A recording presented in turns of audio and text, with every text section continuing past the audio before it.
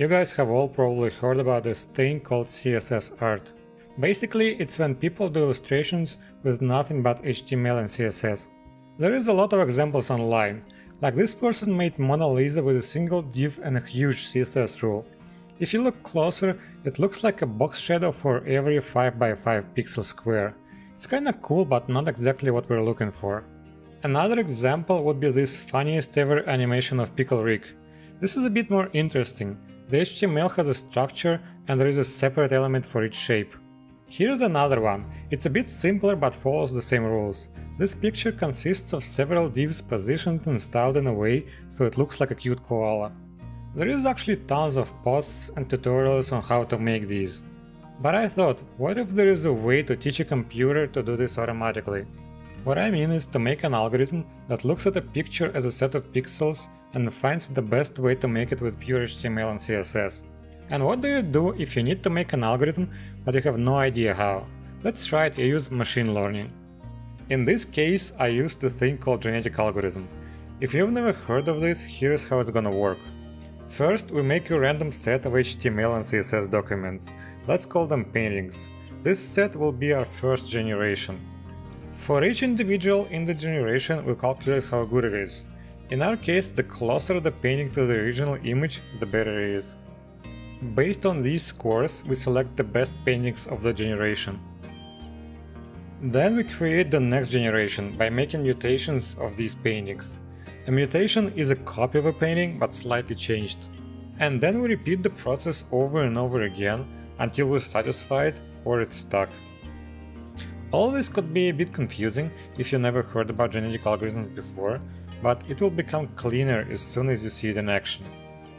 So let's try to make it work. First, I tried to turn an HTML and CSS painting into a set of parameters.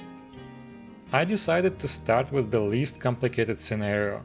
Let's say that the painting is a plain structure of divs with different styles. I also limited the available CSS properties to these ones.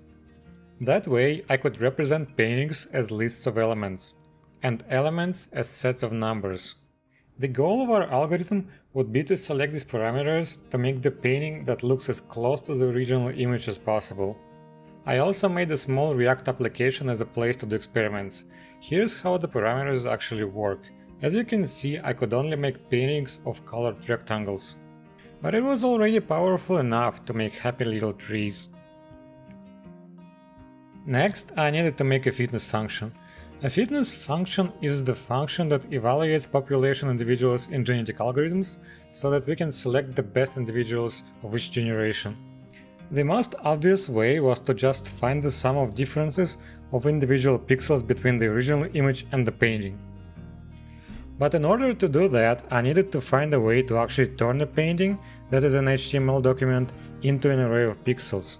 It turned out there is no easy way to render an HTML element in JavaScript, that could be for security reasons, I honestly don't know, but there is a couple of workarounds. I needed this to work within a browser, so I couldn't use headless browsers or anything like that. I also didn't want to use external APIs. So my first option was a technology called WebRTC.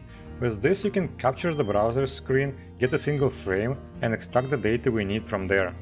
But I didn't really like it, because you need to ask a user for permissions, you need to put an element on the page and actually show it, and I'm not really sure if there is a way to get the full page, not just the visible area. So I kinda skipped it right away.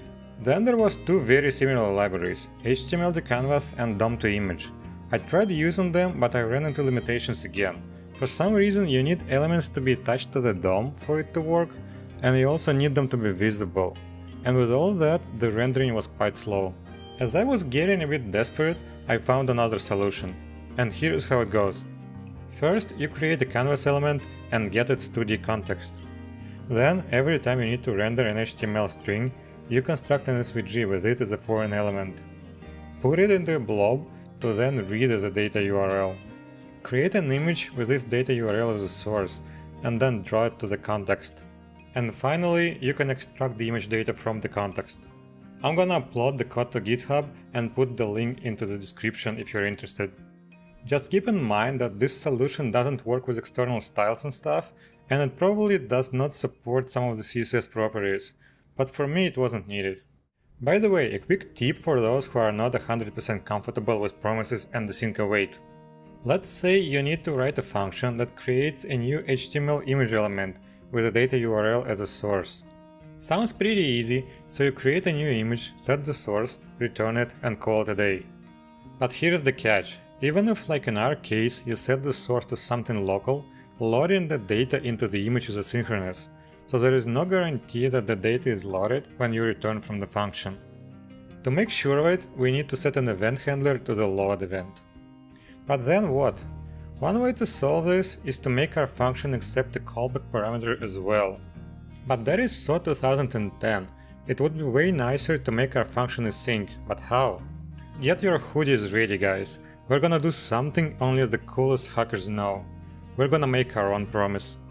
So a promise constructor accepts a function that has two parameters, resolve and reject, which are also functions.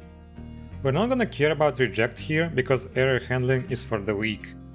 And we're calling the resolve function when the image is loaded.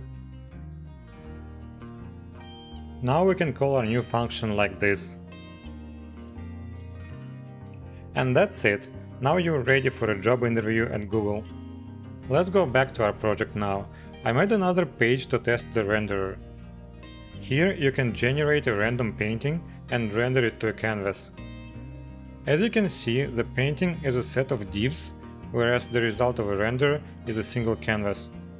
I also made a way to test performance. On my machine, a thousand renders of 200 by 200 pixels took around half a second. It was way far from perfect, but maybe enough for what I was doing. Our next stop is mutations. I wrote a simple version of a mutation function. All it does is that every property of a painting has a 10% chance to be slightly changed. I used a random number generator with a normal distribution, so that small changes are more likely than big ones.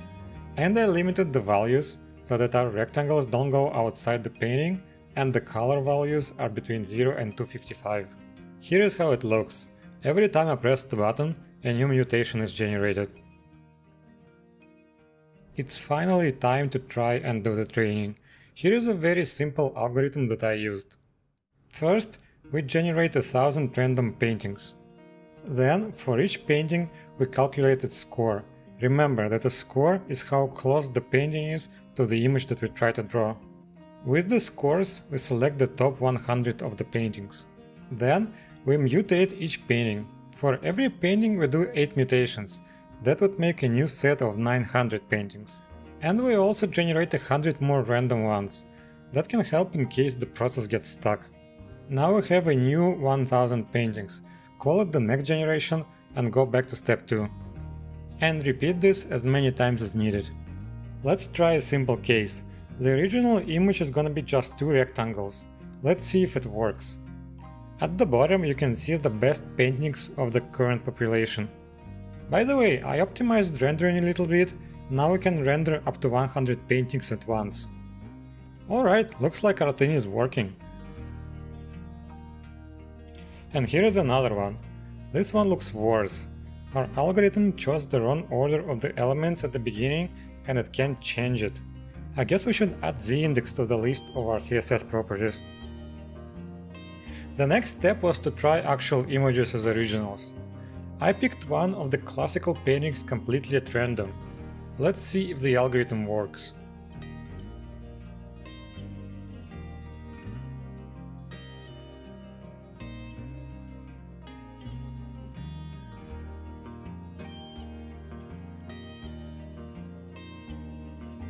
Oh wow, it found a pretty good solution very fast. You can also see the code of the best painting at the bottom. Then it was time for a harder challenge. I increased the number of rectangles to 10 and tried to run it on this beautiful picture. It didn't work at all. So I did some improvements.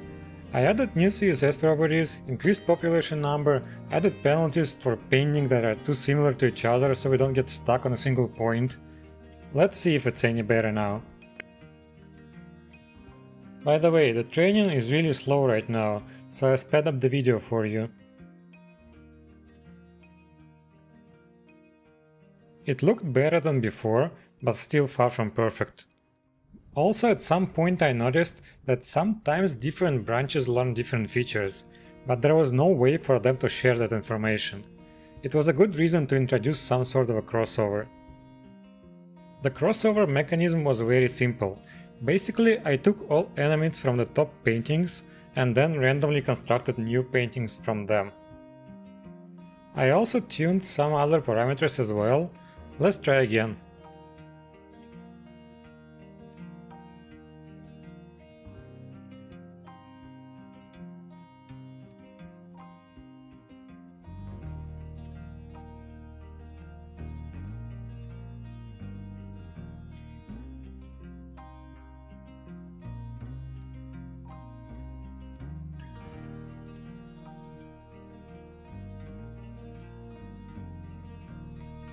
This is great. I don't know about you, but I consider this a win for now. But there is still a lot to improve here. I think the main problem right now is speed. If you guys know how to render HTML faster or a good way to do fast math in a browser, please let me know in the comments. The project is on GitHub, the link is in the description. At the moment of recording the code quality is horrible, but I'm planning on cleaning it up a bit later.